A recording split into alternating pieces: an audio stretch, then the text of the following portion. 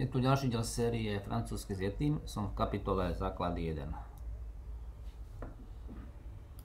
chat, Ša, mačka. chat, Un homme et un chat.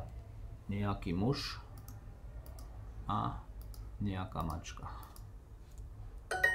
un, Nejaký, un, nejaký chlapec. Un garçon. un homme, Nejaký muž, un homme, nejaký chlapec. Un garçon. A. Et nejaká mačka. un chat.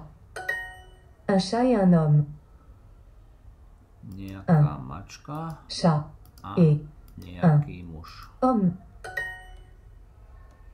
Muž, nejaký muž. Un. Homme. A. Et mačka. un chat. Nejaký chlapec a nejaký muž. Pravdepodobne. A mohlo by to byť, lenže podľa obrázka je tu mačka. Un garçon et un chat. Nejaký chlapec, un garçon. Kde to máme? A nejaká mačka.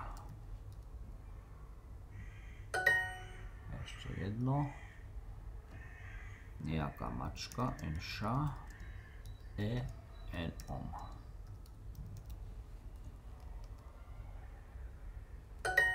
Perfektne.